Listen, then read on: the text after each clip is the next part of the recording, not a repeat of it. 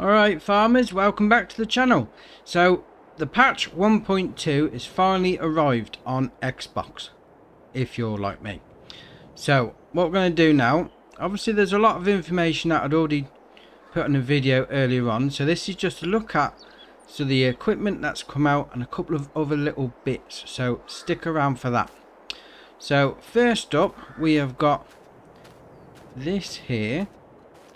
This is the Abbey 550 and then its bigger sibling the Abbey 1600 so you're going to find both of these in the menu under animals because they are water holders water tankers whatever you want to call it. So you got the 550 there it's three grand to buy. And you got a change of rim color as an option white gray black or chrome and then you can change the license plate if you so wish. Then the 1600 is exactly the same same options on the wheels and the license plate. Obviously the 1600 is a bit bigger. It's got 6056 litre tank and the 550 has got a 2082 litre tank. So these are going to be putting water in for your animals or your greenhouses. So both of them smaller than the current one the smaller than the current smallest one should we say. But yeah very nice indeed. Obviously we've seen these on the fact sheets that have come out. So that's the water tankers. So up next we've got this. This is the Amazone T-Pack U. So you're going to find this under miscellaneous. There. It's going to cost you five grand to buy as the base unit or you can add extra weights all the way up to 700 kilo. So 700 plus the initial weight is going to give you a 1.2 ton extra weight on the front. So this is going to be used for silo compaction if you're doing your silage. So that's that. Very nice indeed. No other options on that. So it comes as it is from a color perspective. So anywhere from 500 kilo to 1.2 ton then next up we've got this. This is the Bomech Track Pack. So this is a slurry spreader. It's going to attach to the back of your slurry tanker. And we'll have a little further look at this later on. So we'll come back to that. And next up we have got the Case IH Steiger Quadtrac AFS Connect Series set if you want to call it that. The first one here, we've got the road track.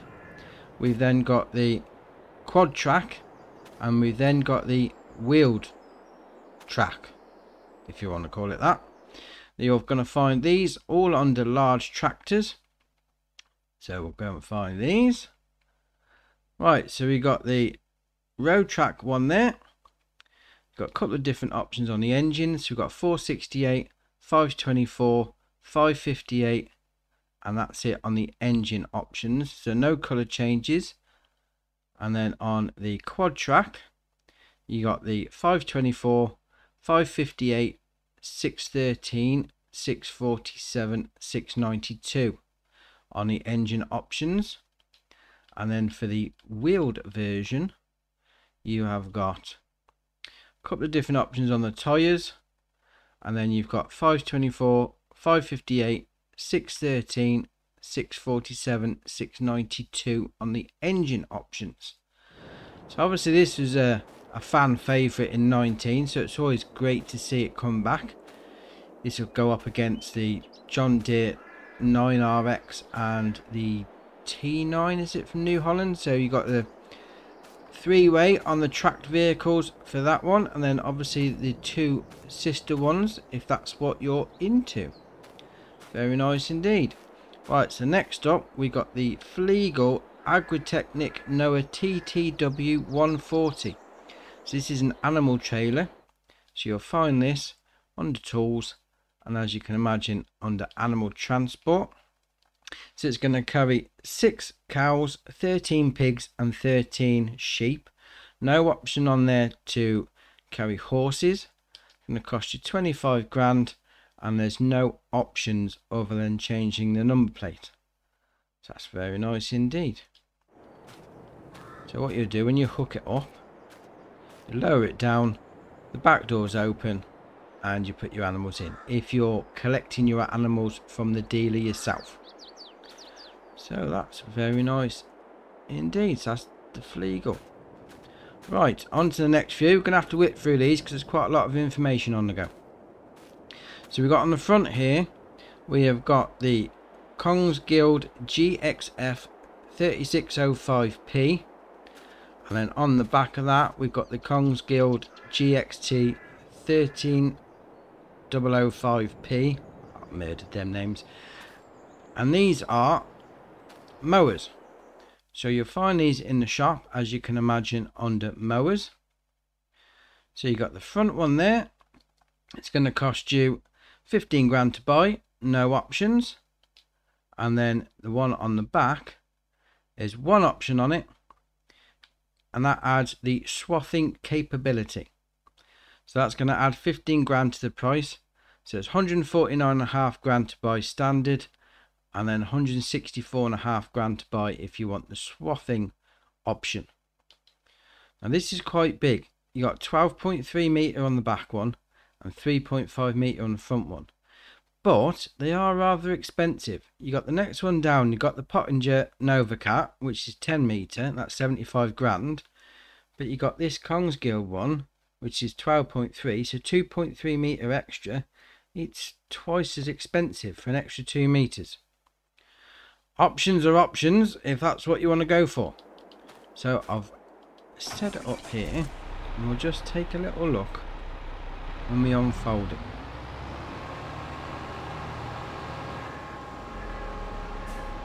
There we are. So that's unfolded nicely. So then you've got the option there. No, there we are. Option there, toggle work mode. So we've currently got it at wide spreading, so that'll just mow it and leave the grass where it is. You can then have swath dropping, left swath dropping, right swath dropping, or back to widespread so that's your options on that.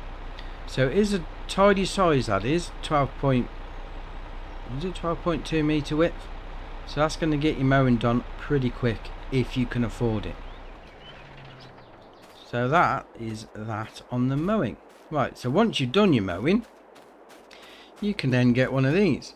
The Krone Big Pack 1290 HDP VC so this is a baler, square baler, and it also has the option of having the additive tank on it. So you'll find this, as you can imagine, under balers.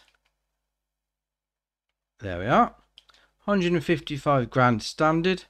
If you want to add the tank, it's an extra 2 grand. And that is it on the options. So if you're doing silage and you want that tank on the back, and you fill it up and then it will put the grass in a bale with silage and then you chuck it into the food mixer and you should get that added bonus that is apparently 5% although in the previous video that I did I didn't really see much benefit but then it may add the benefit once you get to feeding your cows. We'll, we'll see on another video on that one. That needs a bit more testing. But that is a nice big baler. It reminds me of the ones we got in the straw harvest pack DLC on 19. That sort of style. But yeah, very nice indeed. Obviously, you have got on the options, if I remember correctly, the 180 to 240 centimeter bale size. If you want to do that, different size bales. Yeah, very nice indeed. Right, the next one is from Krone as well. This is the GX250. G, sorry, GX520. Now this has got a nice little party trick. Let me go grab a tractor. Right, so we grabbed the quad track because that seems to be a fan favourite. Now what you can do with this is you can open the back door like that without unloading and the floor moves. So we'll zoom in now you got the front bit there. It says tip side sliding floor forward. So that's going to take it towards the tractor. If we change that, it's got sliding floor backwards. So we can now go into LB option. It's got turn sliding floor on. So the floor is coming forward to you. So what you can do, we'll pull it forward a little bit. It's not exactly lightning fast, but mind you, there we are. We turn that off. Now if we changed it to sliding floor forward, you could put something on the back here, say a pallet or a bale or whatever, then tie, turn the sliding floor onwards and it's going to pull it in. So you haven't got to worry about chucking things over the side. You could just put it on the back and slide it all in. That's excellent. So you could use this for your crop you could also use it for your pallets if you so wished. That's nice that is. That is very nice. I do like that. So close it all off. Close the sides over. And we're all done. Excellent. Right, so on to the next one here. We have got the Kuhn Primor 15070. This is a bale shredder. And you'll find this under animals. 36 and a half grand to buy. No options on it. It does what it does. You can get two bales in. But if you open it up you could actually stack four bales if you so wished. So what you're going to use this for is when you're putting straw into your animals whether it's cows or horses or pigs yeah that's the only three that take straw you put the bales in the back after you've got them off the field. You open it all up, turn it on, and it fires straw straight into your barn. You're going to use this for bedding. So that is very nice indeed. Obviously we have got one already in the game there. I've got two, haven't we? Got that one there, the RA142. And then we've also got the Anderson Pro Chop 150. So this is slightly bigger, giving you the option to, as I said before, stack up the four bales and you can get more done. Very nice indeed. Right, on to the next one. We've got the Landini Series 7 Robo 6. So we've got Landini in the game already with a smaller tractor for doing your olives or your grapes. But this is the slightly bigger one. So you'll find this under medium tractors when it loads up. There we are. Okay, got a couple of options on the tyres. You can add front loader, attach it if you really must. Then you've got the engine options. So standards 190, 210, 225. So that's your options on the engines. And then you can change the main colour from blue to metallic blue Oh, that's a nice chrome blue. That is very nice indeed. And then you can change. I'll get down here. Change the rim color from standard to black. That does look nice. Black rims with a chrome blue. That does look very nice. So that's the Landini tractor. Excellent. Now next to that, we got the Samasz Tornado 252. So you're going to find this under tools and you're going to find it under miscellaneous. No, you won't. You're going to find it under winter equipment. Nine and a half grand to buy. No options on it, and it's a snowplow. So if you're playing with seasons on and you're getting snow sticking, so that's going to be more than a one day month, you can use this to get rid of your snow. Get out of the way, and then your traction is going to be loads better. Excellent.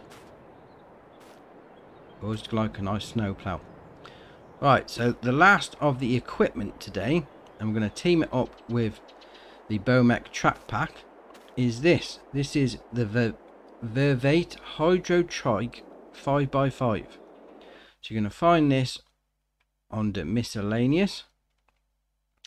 346 and a half grand to buy get options on the tyres and then design you got the standard or the launch edition, whichever one you want to go for. Doesn't cost you anything different. So this is a slurry tanker. So we'll get in, turn it on. That, that does sound nice, that does. Right, so on the options there, you've got LB with the right stick up and down. We'll move the pipe out. If you want to simulate taking slurry out of your slurry tank. You also got the option to unfold, which is going to move those front of the rear axles out to give it a bit more stability when going around a corner. So obviously a freewheeler, like the old style Robin Reliant, are not the most stable. So that is very nice. So what we'll do with this, we're going to need something like the Bomech track pack that we've got here. So you hook it up to the three point link on the back, like so. And then once your tank's filled up with slurry, you just unfold it. This is why I said we was coming back to it. There we are, nice unfolding motion. And then you lower it down, you turn it on, and you would go slurry spreading if I had any in the tank. So going back to the Bomech track pack, like I said, you're going to find this under tools and under slurry tanks. There we are. 62 grand to buy, 18 meter working width.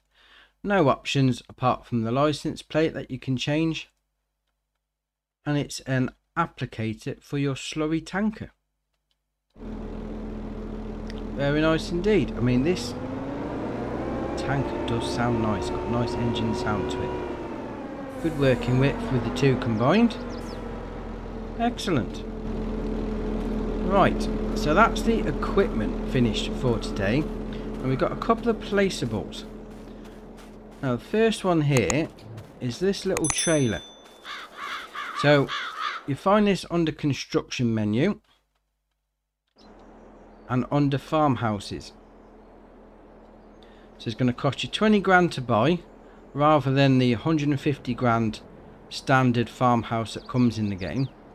Now you can only have one per farm because it's a sleep trigger.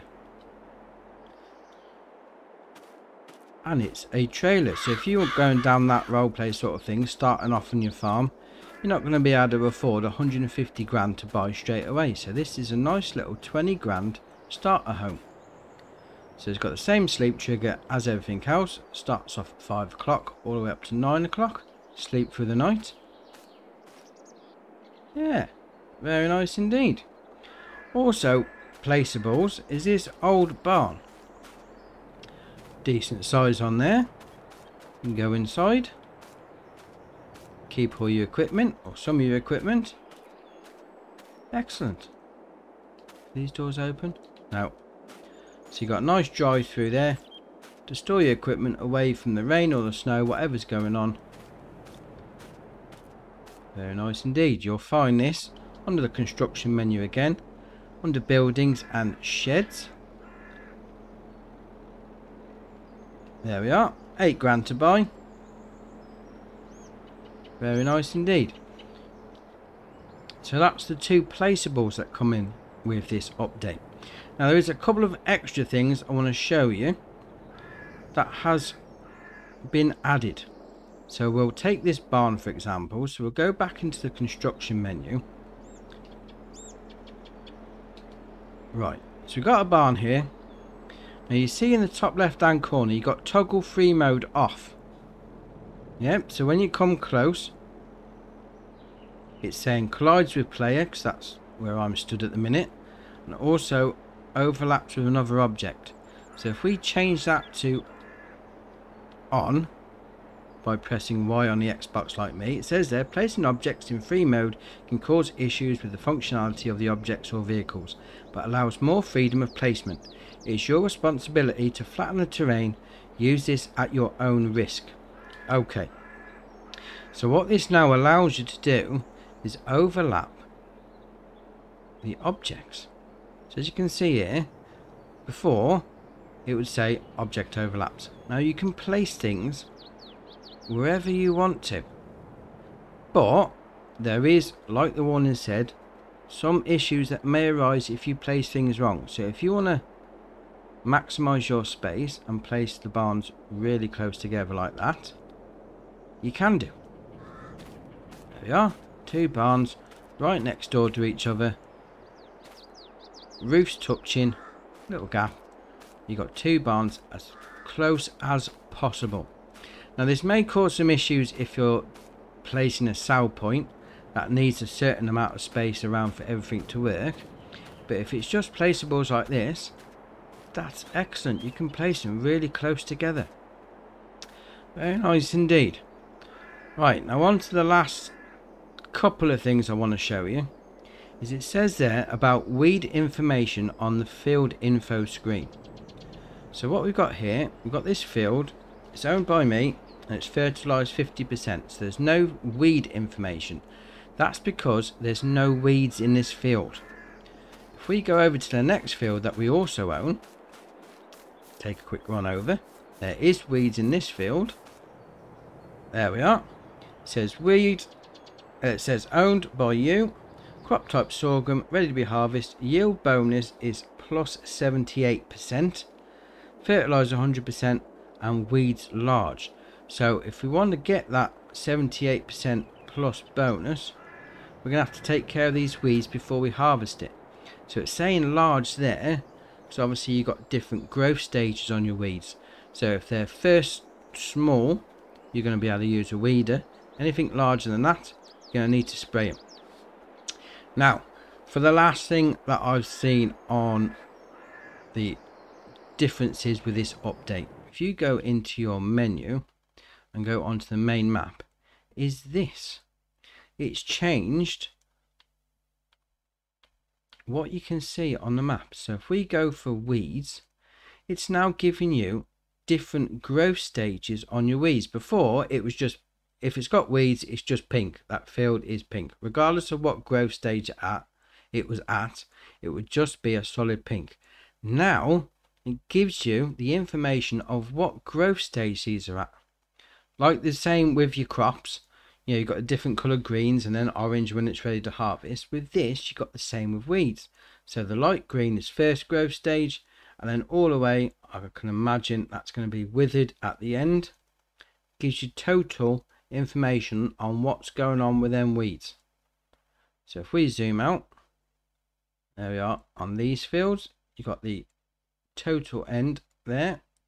I'm assuming that's withered. And then you also if we turn the weed option off, you've got one for stones. Turn that on, and you've got different color stones. So you've got the dark yellow, which is going to be small stones.